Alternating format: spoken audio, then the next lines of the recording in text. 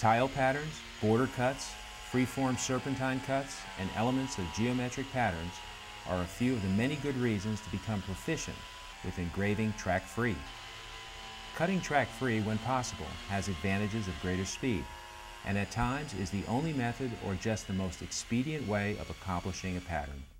As much as possible, all track-free engraving should be completed prior to other tracking device-controlled engraving. Track-free engraving is easier to control when there are fewer distractions for the wheels to encounter. When making adjustments or changing components of engraving tools, you must disconnect and unplug the tool from the electrical power source. The Super Compact Engraver comes with multi-directional wheels installed. Change them to straight line wheels to do track-free cutting.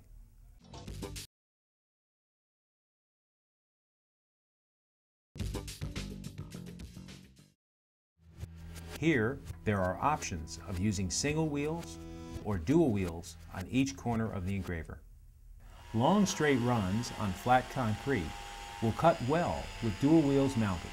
Single wheels may be better if the slab is wavy, uneven, or when cutting freeform curves. With a little experimentation, you will discover which setup is best for you.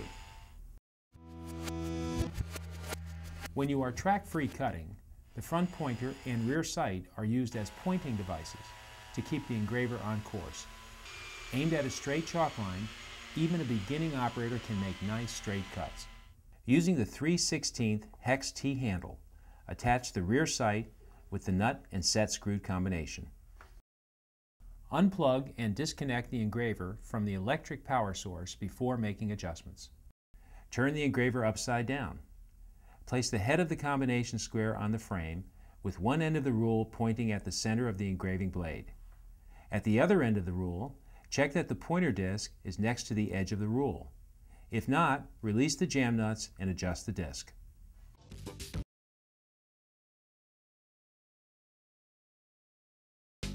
Make a trial run to check the front pointer and rear sight alignment. Snap a chalk line. With your equipment disconnected from power, make some practice runs, pretending you are cutting the chalk line for approximately 3 to 5 feet. Then carefully stop and release downward pressure on the handlebar while keeping the front pointer steadily over the chalk line. Look underneath the engraver to see if the blade is centered on the chalk line.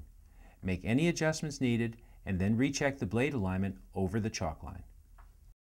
After removing and then reinstalling the rear sight, always recheck the alignment with the blade. If you need a place to check tool alignment, cutting depth, or merely to make some practice cuts, use a piece of concrete wallboard, old chunk of concrete, or an old piece of plywood.